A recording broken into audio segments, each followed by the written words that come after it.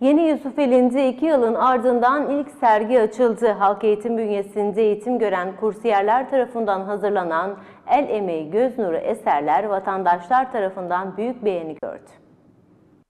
Artvin'in Yusufeli ilçesinde iki yıl sonra ilk kez sergi açıldı. İlçe Halk Eğitim bünyesinde eğitim gören kursiyerler tarafından hazırlanan el emeği göz nuru eserler görücüye çıkarıldı.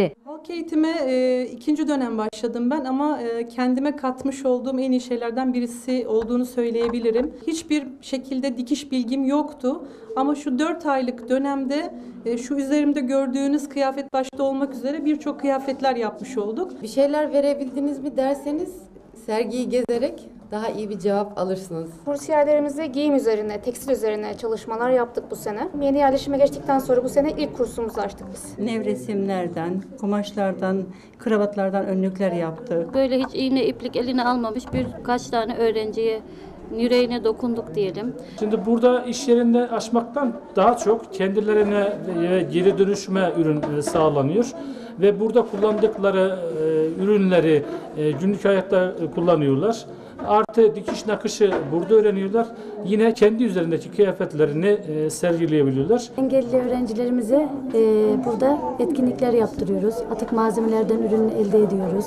E, onların yapabileceği düzeyde ürünler yapıyoruz. El sanatlarıyla evlerindeki ürünleri değerlendirmeyle ilgili aile ekonomisine katkıda bulunacak şekilde ürünler yapmayı öğrendiler. Halk eğitim neler verdi size?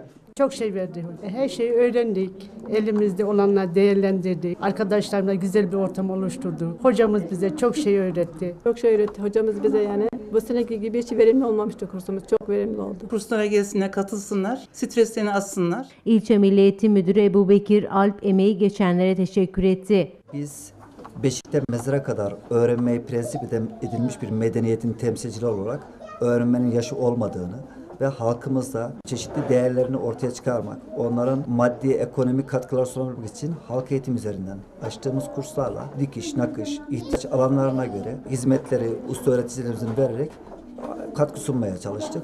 Büyük bir katılım oldu. Burada katkı sunan kursiyerlerimize de teşekkür ediyorum.